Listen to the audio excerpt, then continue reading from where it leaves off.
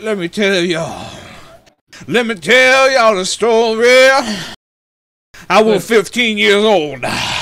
And I was praying to Jesus. I said, Jesus, I want some new shoes, Jesus. And I woke up the next day. And my mama had brought me some Nikes. Oh, God.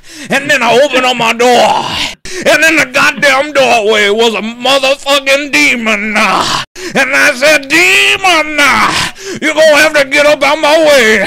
Cause Jesus fucking Christ just gave me some brand new Nikes.